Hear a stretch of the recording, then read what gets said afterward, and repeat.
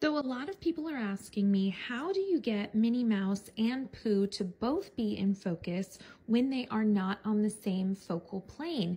Thank you for asking. I love when people ask questions. So on the previous image, you can see that my aperture was 1.8, shutter speed 200, ISO 400.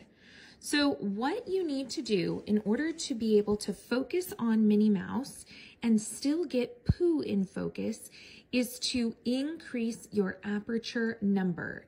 However, you will see that when I do that, the photo gets darker. In order to change the aperture on my camera, I turn this dial in the front right here. So I'm gonna go ahead and start doing that. And you will see the photo is getting darker.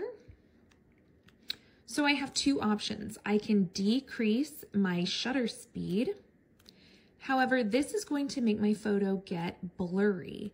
So instead, what I'm going to do, I will take it down to 160. Then I'm gonna increase my ISO. Going to do a quick pause right here and let you know if manual mode settings confuse the heck out of you, you can get a free manual mode cheat sheet on my profile or on my website, nancysmiley.com, or you can join my photography course where I can show you how to use your camera like an absolute pro in just six weeks. Okay, perfect. Now at this close range, I'm really close to them. I need a really high aperture number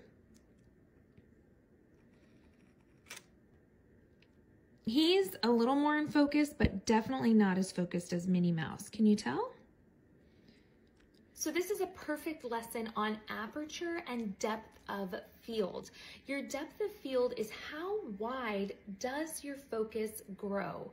Because as your aperture number goes up, your focus area gets bigger. You will see that when you are really close like that, you need an exponentially higher aperture number in order to get them both in focus.